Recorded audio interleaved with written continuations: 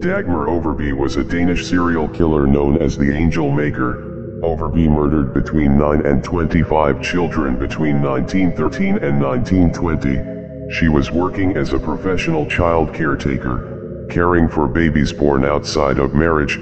She would strangle, drown, and burn child victims to death in her masonry heater. Some corpses that were not cremated were hidden in the loft of her home, Dagmar was convicted of murdering at least one of her biological children. She was also known to abuse drugs. In 1921 she was sentenced to death.